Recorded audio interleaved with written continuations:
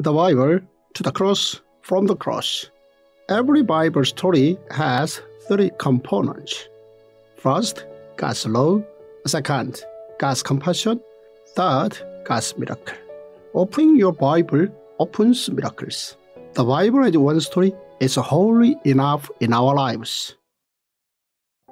Day 138, Job 25 to 31 prosperous days seen from the days of poverty.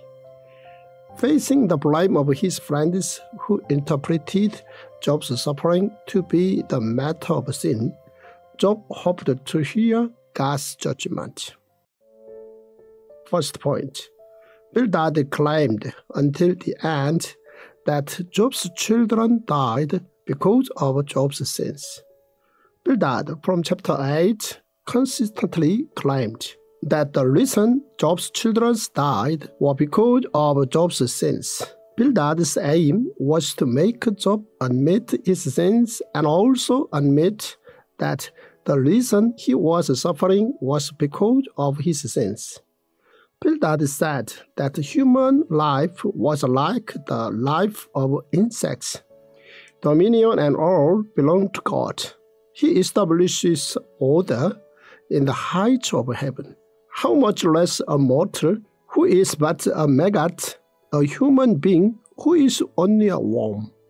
How then can a mortal be righteous before God? How can one born of woman be pure? And then, on the other hand, Bildad said that because humans are God's creations, we resemble God. What Bildad failed to see was God's mercy for humans. If he saw this, then he would not have been able to say the hurtful things to Job. Bildad spoke as if he had no sins and then rebuked Job for all the things he had supposedly done wrong. Second point Job told Bildad that his knowledge about God was too limited and subjective. To Bildad, who was so ignorant, Job used metaphors and other examples to fight back. To Bildad, who claimed that Job had sinned against God, Job argued back. How you have helped the powerless? How you have saved the arm that is feeble? What advice you have offered to one without wisdom? And what great insight you have displayed. Who has helped you utter these words? And whose spirit spoke from your mouth? Job asked whether Bildad had ever managed to persuade someone in the past. Job furthermore told him that his words were long and pointless. Job revealed his knowledge on God that Bildad did not know and these are but the outer fringe of his works. How faint the whisper we hear of him. Who then can understand the thunder of his power? But Job himself was far from understanding what God had planned from all this. Third point Job claimed his righteousness and waited for God's judgment. It was very difficult for Job to listen to his stupid friends amidst his deep suffering. They made him lonelier. My lips will not say anything wicked, and my tongues will not utter lies. I will never admit you are in the light. Till I die, I will not deny my integrity. I will maintain my innocence and never let go of it. My conscience will not reproach me as long as I live. And so Job rebuked his friends for condemning him. May my enemy be like the wicked, my adversary like the unjust. For what hope have the godless when they are cut off, when God takes away their life? It is an earthly theory that God rewards the righteous and punishes the wicked. However, we should not come to abrupt conclusions based on our temporary suffering.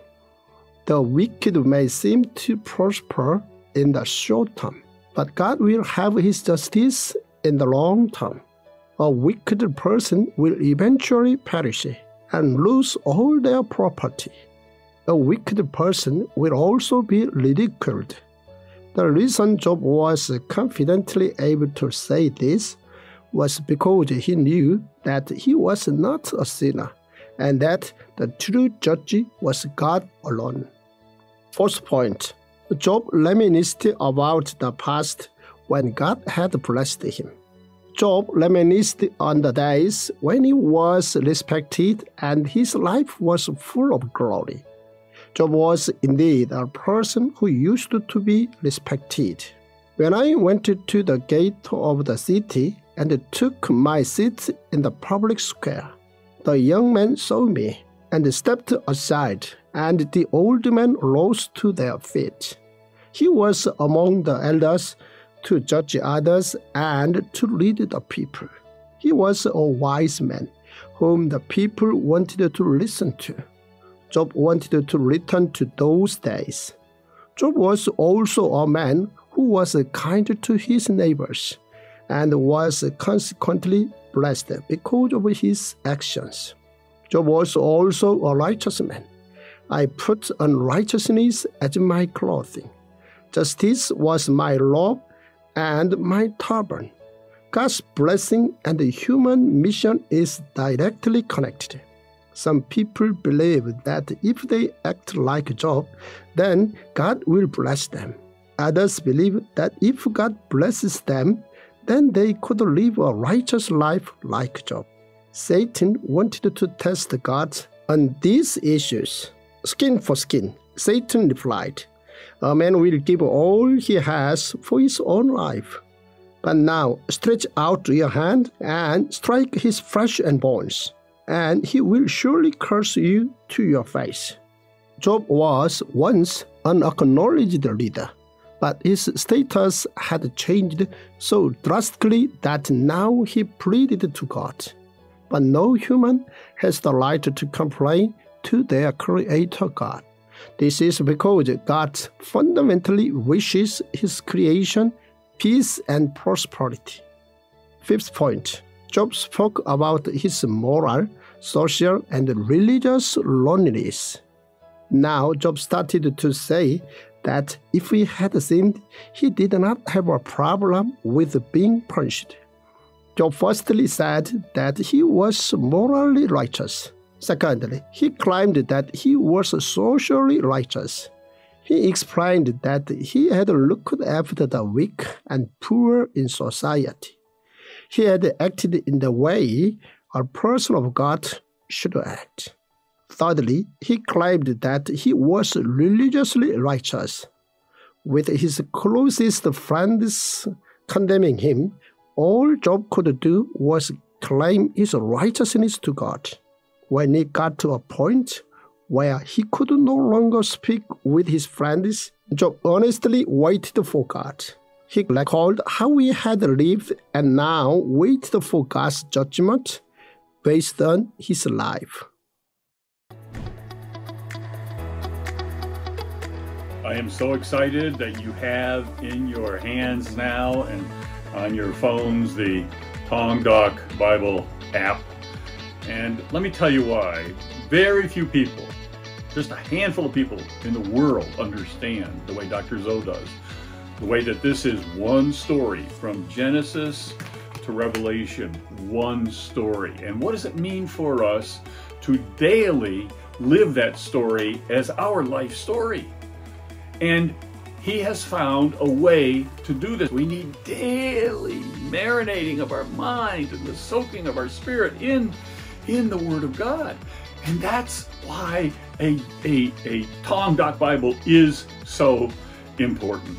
The scriptures, the story, Genesis to Revelation, is the daily mouth to mouth breathings of the Spirit of God into humans to make us truly who God made us to be. And that's why this app is so important. This app shows you how to do mouth, that God enables God to do mouth to mouth resuscitation on you every day of your life, 365 days a year. I'm so glad you have it. You will feel that healing that comes from mouth to mouth breathings of the Spirit on you as you use this app.